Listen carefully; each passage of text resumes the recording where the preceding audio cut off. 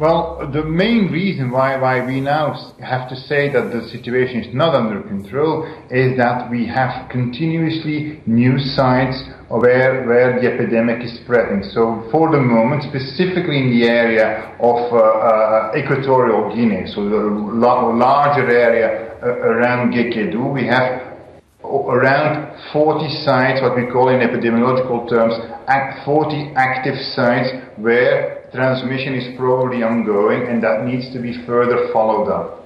Why has it been allowed to get out of control?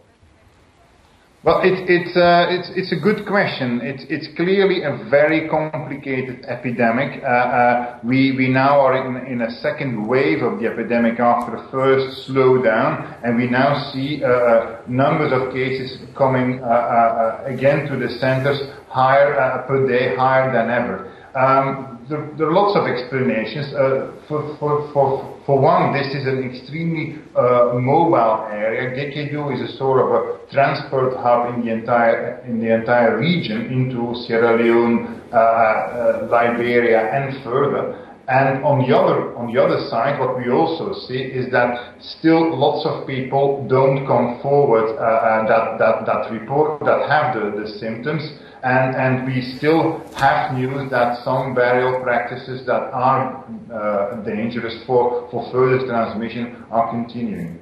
And uh, can the countries that are involved in this cope, or do they need help from outside?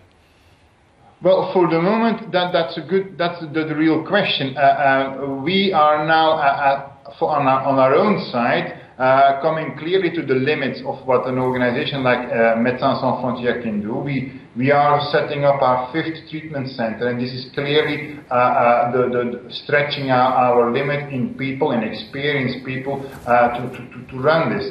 Uh, but there needs to be more efforts. There is specifically more uh, uh, uh work to be done to follow uh, in the local epidemiological work. Uh, people need to be traced. All all new sick people, and we have to follow all the contacts. That's a lot of work, and for the moment, in Guinea, but also in Sierra Leone, that capacity is not not up to the level where it should be.